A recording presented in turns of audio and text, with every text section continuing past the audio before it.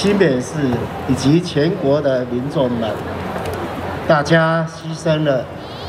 低度的活动，以及所有的不方便带来经济的伤害，大家同心协力走过辛苦的一年。最感谢的是要谢谢我们今天所有小朋友代表着。警消、医护以及各行各业为我们守护我们的安全，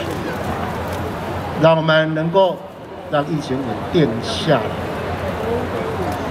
但是在面对未来的岁月里面，我们看到现阶段全球的疫情仍然不断的在肆虐。以及台湾在纷纷扰扰的争端当中，这一切，我要在这里祈求希望，所有的不平静，所有的对抗仇恨以及不安宁，一切都能够放下，都能够一切平安。我们要在。这一块土地，所有的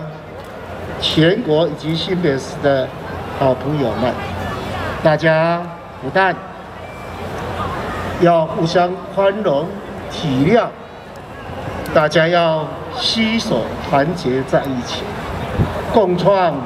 台湾未来的静好岁月。这在我的平安夜，是所有人衷心的期盼。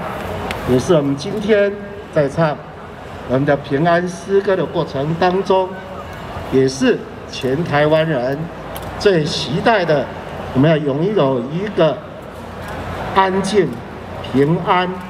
快乐的明天。